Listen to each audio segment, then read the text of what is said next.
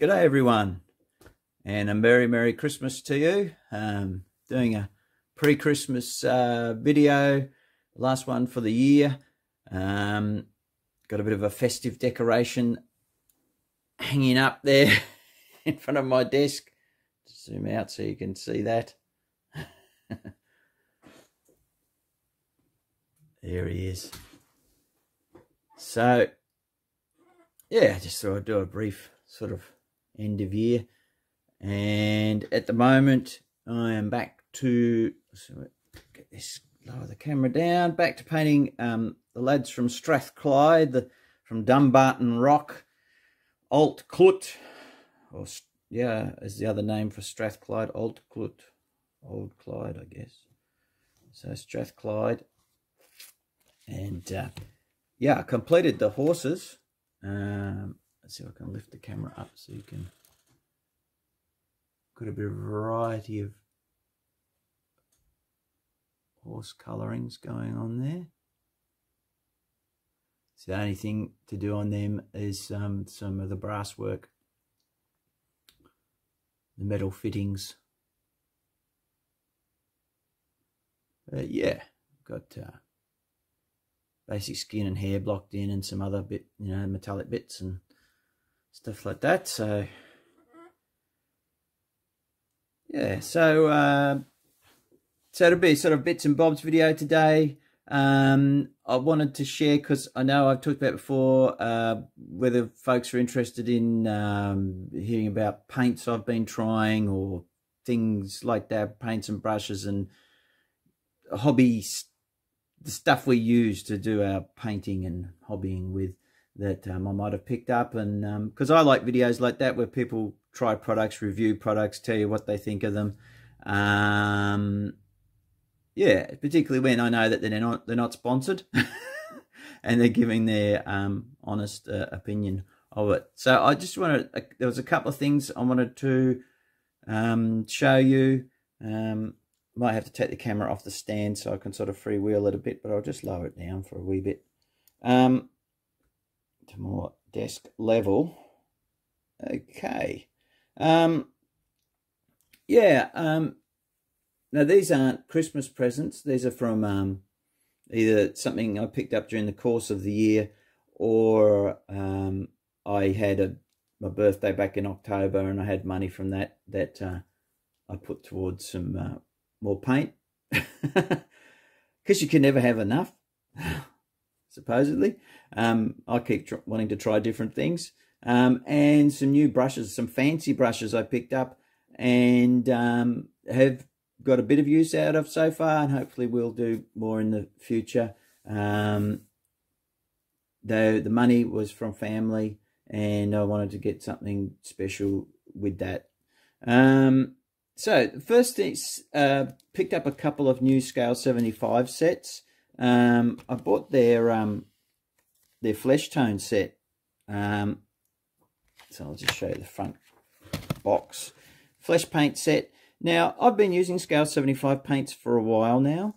And um, I have some of the earliest sort of releases. Like, for instance, you can tell they've had them for a while. Look at that one.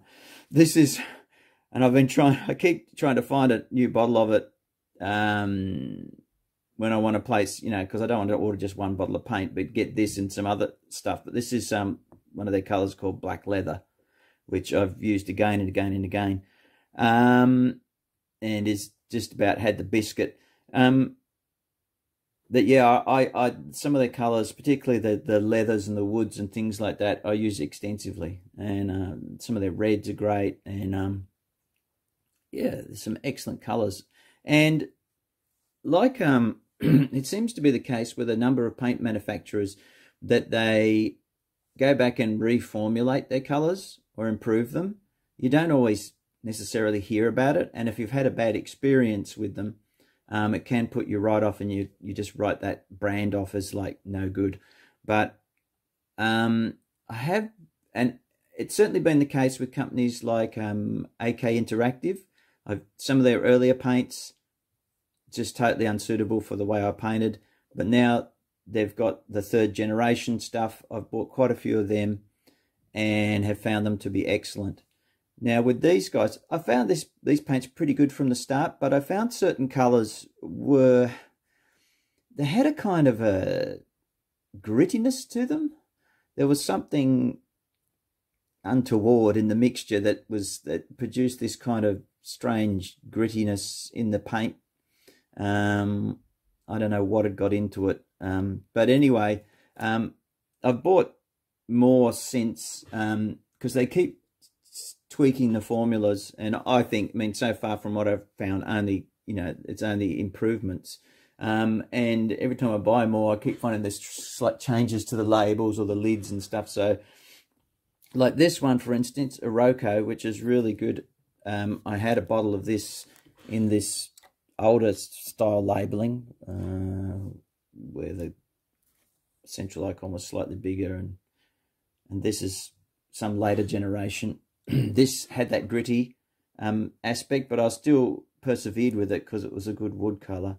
Um, and but since I, I had replaced it with a new new bottle, um, and this is much smoother and much better.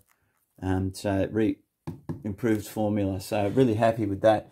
Um, now I they also seem to have changed their lid styles as well. Um, I've never tried their fantasy range. These are all from their sort of just scale color modeling range. Not even from there. They do another range that's more suitable for World War One, World War Two stuff called War Color, I believe. I believe it's called War Color, um, something like that. I haven't got any of those. I noticed Frank from Frank's Miniatures. Um, he uses those. G'day, Frank. Um, shout out to his channel. Um, and they look pretty good.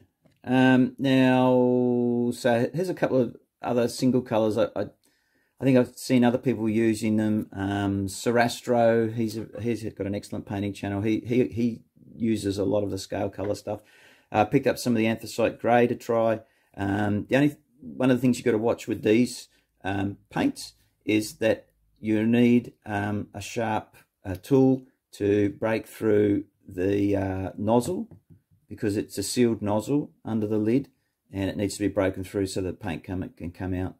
Um, apart from that's from fine. And I usually, I nowadays I try and put a little a dob of the actual paint on the top, um, so if I'm looking down from above, I can get a better picture of what it looks like. Um, so I picked up the that one and this petroleum grey, and this is they seem to have switched to a different lid style. Mm, um, that's a cool, been a good colour. Yeah, but the flesh paint set, really happy with this actually. I typically use a lot for my European flesh anyway, basic European flesh. I use this Reaper Triad, which I've had for quite some time now, still going strong. Um, it's a bright skin tone triad, I believe it's called.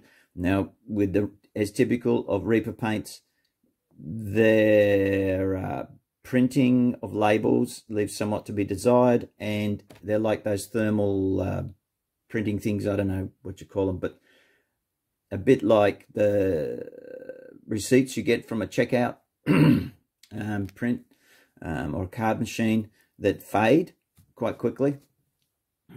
These fade as well. So you have to be writing over them. I, I haven't written on these over and over again, but um, because I kind of know what they are because I keep them together. So that's the basic bright skin tri skin tone triad. But what I found is that this box gives me a, even more options. I mean, I've got other sets of skin tones as well. But there's a lot of good colours in here. Um, so worth a pickup. Um, do check to see if it's better value to buy them by the set rather than singles. Um, good websites will give you prices so that you can work out how much, you know, per milliliter and stuff. Um, you can just sort of divide it by how many paints in a box and whether it's worth getting a box set I mean, some people might think it's worth it because it's got a little bit of fluff in here that got some ideas about painting skin tones. I mean, I'm not too fussed, to be honest. I'm more interested in, does the set give me better value? Is it more economical to buy it as a set or should I buy them singly? Anyway, some great tones in here and I kind of like basically found a triad that's pretty close to what I get with the bright skin triad. Um, and it shows up on the camera actually quite different to how it does to my eye. This, this, the camera's telling me that this is really yellow, but it's not. I can tell you that that cut, this is quite pink. This is sort of peachy kind of color, not yellow. Um, yeah, but they work really together and are a good, uh, good European flesh tone I've found if you want to use that. But the box set has a lot of different tones, included some nice um, African shadow colors, Indian, Arabic. I mean, they're just names, but, you know, use them how you will kind of thing. Yeah, so good set. Good, pleased, pleased with that pickup. Um, the other one I bought um, recently is this blue set. And I have I've bought a lot of the sets um, in the scale color. Um, years ago, I bought a bunch of them. I bought the reds, the greens, and the wood and leather set. There. Oh, and I've got a lot of the metallics. Um, but I haven't got everything, not by any means. Um, so yeah, this is a Sky and Ice Blue paint set. So once again, you get a little bump pamphlet if you want to use it. Just sort of got some ideas about layering blue and highlighting the blues and stuff and mixes and things. Um, but if you look, really nice, some really nice colours, a bit hard to tell in this light, but yeah, some really nice tones there. Now, what made me jump on this one in the end and buy this box set was, um, I think it's um, the YouTube channel uh, Liberator. Uh, Liberator and some numbers, I can't remember. But he is a superb painter and um, love his work. Uh, he's based in the UK and he recommended, I think when he was painting his Württembergers or something, he was using, I think he was going with this deep blue and with a Cantabric blue highlight, I think it was. So I believe I've got a commission coming up for some of these Württembergers, I think, later in the year. Anyway, so I thought they look like good colours. Not that I haven't already got lots of blues, but uh, I didn't have these. And, and they're, they're just really nice. They go on with a really excellent, um, very uh, matte finish. They're not shiny at all. If that's, you know, if that's what you want kind of thing, but I like it. Um, yeah. They're kind of a, people call them a gel base kind of thing. I think it's just, it's like any paint. You get used to working with certain paints. Some people are happy to work with really quite thin paint, um, which you need layers and layers to build it up. Um, I prefer a paint that gives me options. a paint that I could I could slap it on and one coat it and it's there, but I can also thin it, thin it, thin it, you know, and it still keeps its colour. They're the best sort of paints, really, in my opinion, that, that will do both. Um, and But obviously there are certain um, pigments that are notorious for being a bit thin. But in those cases, it's getting a base colour underneath them, like with yellows and stuff that um, allows you to put it on. So yeah, good set, recommended. I'm saying recommended. I haven't used them yet. Only to dot the uh, lids with colour yet, but I could tell that they are very, very nice. And, you know, like I said, the other, I found the others really reliable. Um, because it was a present, I went a bit crazy and had some gift money and bought a nice gift set of brushes. This is a bit posh for me. Uh, but, you know, I mean, I use posh brushes, but um, selectively, and the bulk of my work is done with inexpensive synthetics for the the big stuff. Um, but the Artis Opus um, S series, um, nice presentation case. That's what I sort of thought. I'd been given this money as a gift, and I thought buy some something sort of gifty, and we'll zoom out a bit so you can see it. So yeah, so that's the set. Now you get a two, a one, yeah, zero, double zero, triple zero. Now, to be honest, the way I paint, I'm more likely to just use the two and the one, maybe occasionally the zero. I'm not sure if I'm going to get much use out of these, but you never know. And you get this little doobry here with a bit of uh, brush soap. I've still got an old thing of the Masters brush soap. But, um, yeah, bit fancy, a bit swanky, these uh, brushes. But um, I have used them. I've used the two and the one, and, and they are very nice. Um, I suspect, I'm fairly sure they're actually made by Rosemary and Co. for Artis Opus. Um, so they're Yorkshire made, um, which will please certain YouTubers out there. Um, and uh, that's to the best of my knowledge anyway. I'm pretty sure they are. And then, but they obviously um, ask Rosemary and Co. to make them a certain way, and then they seem to have some sort of um, quality control doohickey thing themselves where they check them and give them the stamp of approval. So yeah, um, a bit fancy. Um, I, I, it's one of those things. Do I recommend them? I think if do you want to treat yourself and you've been given a gift, or you, or, or you know, sometimes people when they give you something for a birthday or a special something, you know, they like to see that you've got something nice and it kind of makes them have a warm fuzzy glow. And you can say well i bought this set of bosch brushes in a wooden presentation box. And they're jolly nice and well yeah they are they are and they look good. So there you go. And they should last me a long time. But you know having said that i still have to tell you i keep banging on about it but at the moment these big ones are the main sort of go-to brush cheap synthetic uh, what have we got 11 and a 9 um, I'm using these for a lot of the legwork on my painting and I'm still finding these. This number two Rekab Pure Sable from Israel uh, 310. Fantastic brush.